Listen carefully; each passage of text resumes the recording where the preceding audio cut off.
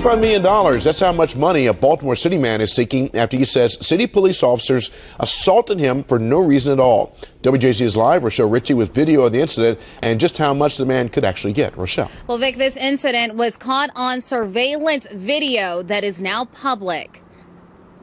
This is the surveillance video. A Baltimore City man shows the moment he was attacked by an officer with the Baltimore City Police Department. The man in red is Colin Truss, and the officer his attorneys say is repeatedly punching him is Officer Vincent Cosom. This isn't Baltimore justice. This is Baltimore horror. In this 15 page complaint filed in circuit court, the events of that night are laid out from the moment Truss first encountered the officer to the first blow. And then the officer gets mad when our client is looking down the ground, not resisting and the officer does what they call sucker punches the client. But the police department say Truss disobeyed the officer's original orders to stop loitering in front of a liquor store at the corner of Greenmount and North Avenue. In the statement of probable cause, Cosom says he asked Truss to leave. He says Truss said, quote, you. I will see you when I get outside. This video shows the moment Truss stepped outside and was approached by Officer Cosom again. Words are exchanged and a female tries to pull Truss away. The officer says Truss and the woman get into a verbal argument across the street. He pushes her three times. He moves in to make an arrest, and that's when he says Truss got into a fighting stance. Still, Truss's attorneys say the officer's actions are excessive. Too often we've seen this pattern before where a person is stripped of their dignity they're asked to submit their rights. They are assaulted. And this case was filed at the state's attorney's office, but it was dis dismissed. The charges that Truss originally faced were dropped. We're live tonight. I'm Rochelle Ritchie, WJZ Eyewitness News. Rochelle, thank you. The officer has been with the police department for six years. The incident is being investigated by the Internal Affairs Department.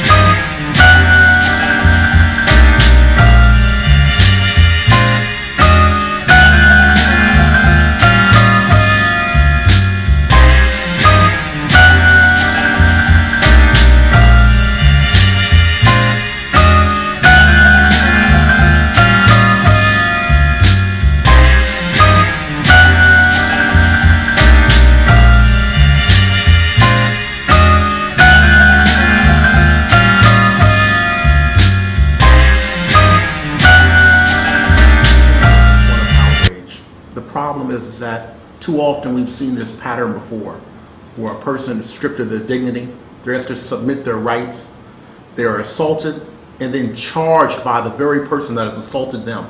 This isn't Baltimore justice, this is Baltimore horror. The nature of the video is so violent. You have a citizen, he's there, he's at the local bar, he's moving, he's following the orders and instructions, and then the officer gets mad when our client is looking down the ground not resisting, and the officer does what they call sucker punches the client.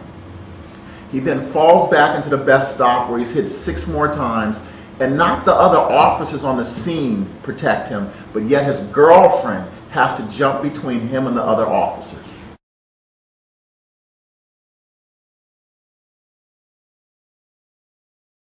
The videotape was subpoenaed by the public defender's office who represented our client. That there's never been an internal investigation. My understanding, there have been no reports to Lieutenant Rodriguez or to the commissioner. And other officers witnessed this brutality, were concerned about, is this the culture of the police department? Or is this just an aberration of an individual who should not be a police officer? When the state's attorney viewed this video, that they did not have enough evidence to proceed.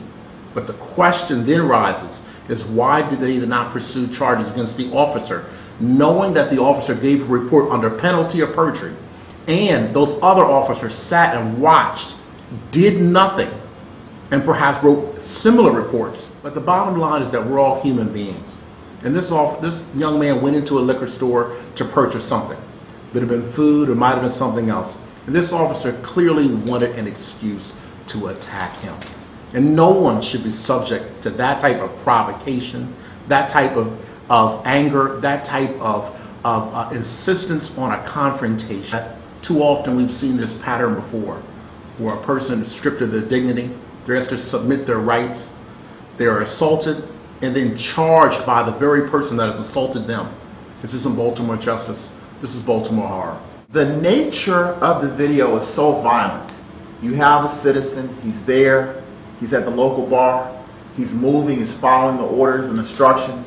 And then the officer gets mad when our client is looking down the ground, not resisting, and the officer does what they call sucker punches the client. He then falls back into the best stop where he's hit six more times, and not the other officers on the scene protect him, but yet his girlfriend has to jump between him and the other officers.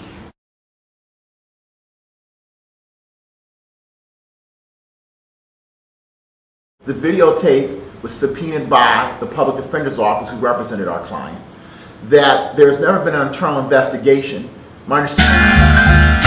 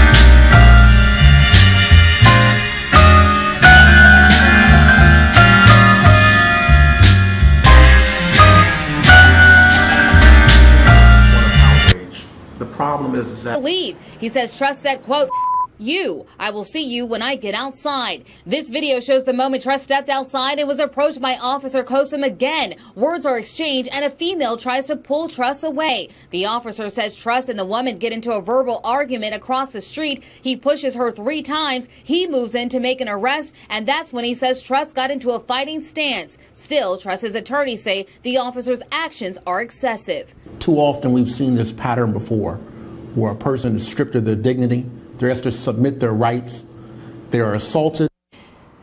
And this case was filed at the state's attorney's office, but it was dis- dismissed. The charges that Truss originally faced were dropped. We're live tonight. I'm Rochelle Ritchie, WJZ Eyewitness News.